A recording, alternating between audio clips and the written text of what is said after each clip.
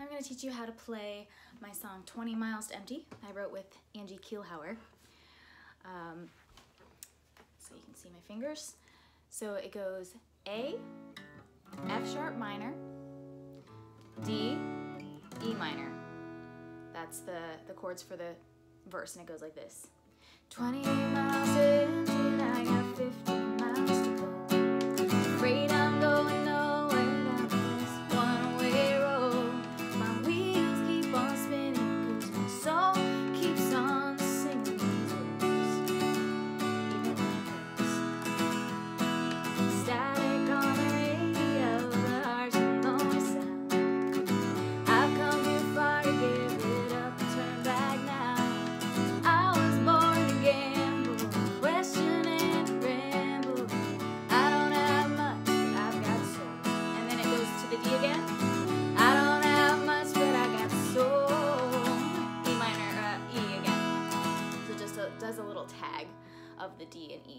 repeat um, for the end of the verses. And then it goes into, so it's A, F sharp minor, D, E, four times, and then it just does that little tag D, E. So then it goes into the chorus, which goes D, A, E, D,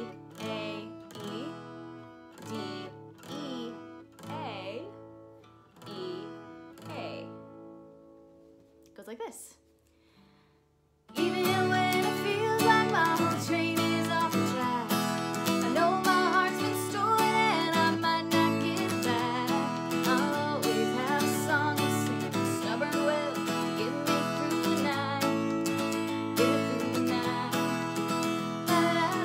da.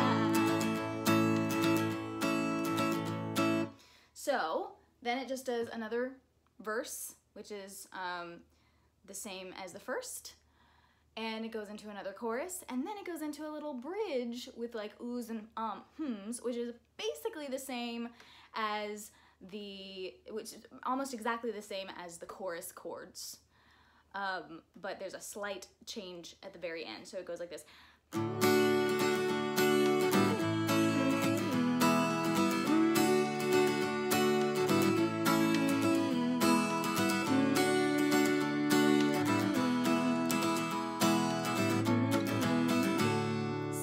In that part where it would have gone D, E, A, and then back to E, and back to A, it goes, it just goes a little bit faster and goes to the D.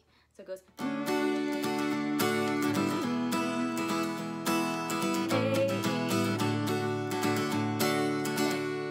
stay on D. A. So it just has that little extra little flourish in there. And then, uh, and then it repeats the chorus, same as the other two. And then it does a little tag verse that is the same as the first verse. So that is how to play 20 Miles to Empty. If you give it a try, I'd love to see it. I'm posting the lyrics down there. This song hasn't come out yet at the making, at the time of this post, but uh, you if you're my patrons, you should be able to see it and hear it uh, in a previous post that I did with Crimson Calamity. And I will be posting a recording of it very soon. But I sang enough of the melody during this that you can extrapolate to the other verses with those lyrics.